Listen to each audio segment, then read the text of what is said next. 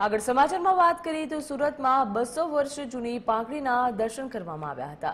આ પાંખડી સ્વામિનારાયણ ભગવાનને તે સમયે સુરતના કમિશનરને આપી હતી. તે સમયના અણદેશ કોટવલ સુરતના પોલીસ કમિશનર હતા. જેઓ પારસી સમાજના હતા. વર્ષમાં એક જ વખત ભાઈબીજના દિવસે આ પાંખડીના દર્શન કરવા માટે બહાર કાઢવામાં આવે છે. તો આ પાંખડીના દર્શન માટે લોકો દૂર દૂરથી આવતા હોય છે.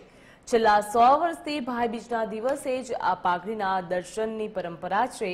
પાઘડીના દર્શન કરી ભક્તોએ ધન્યતા અનુભવી હતી. અને આ પાગ અમારા વડવા અડદેસર કોટવાલને વિક્રમ સંવત અઢારસો ને ના રોજ આપેલી હતી માક્ષર સુદ દિવસે તો એ રીતે જોઈએ તો આવતા મહિને માગસર સુદ ત્રીજને દિવસે આ પાગને બસો વર્ષ પૂરા થશે. પાગની સાથે શ્રીફળ પણ દ્રશ્યમાન છે. એ પણ શ્રીજી મહારાજે અડદેસર કોટવાલને પાગ અને શ્રીફળ ભેટ આપેલા હતા.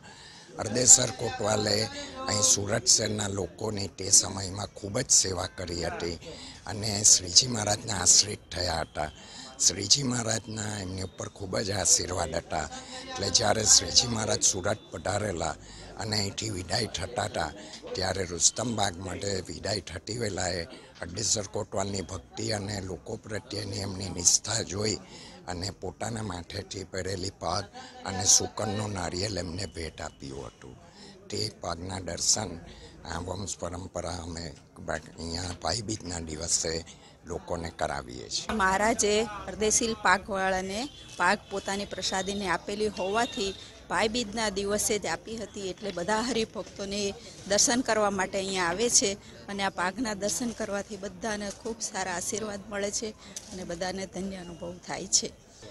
આ ઘણા વર્ષો, બસો વર્ષનું જૂનું છે. અરે, બહુ જ ધન્ય અનુભવ થાય છે કે આપણું આમ આપણું અનુભવ એવો હોય છે કે આપણું જે જીવન પરિવર્તન પણ થઈ જાય છે પાકના દર્શન કરવાથી. એટલું સરસ આપણને આનંદ અનુભવ થાય છે.